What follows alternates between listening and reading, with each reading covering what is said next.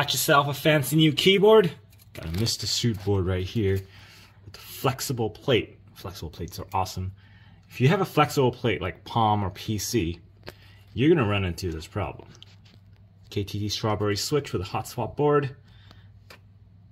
So you'd think it'd be easy. Just stick it right in. Uh-oh, see what happens? That switches incorrectly. See how that that plate is being supported by the, the latches on the switch. This one that we just put in, not at all. It's just sitting on the PCB and the plate's not really doing anything. This is why you need, oh, what the fork? This is a plate support fork that solves that problem of flexible plates. It's very easy to use. What you're gonna do is you're gonna slide this in between your PCB and your plate line it up with the switch that you want, uh, the hole that you want. Pick up your KTT strawberry.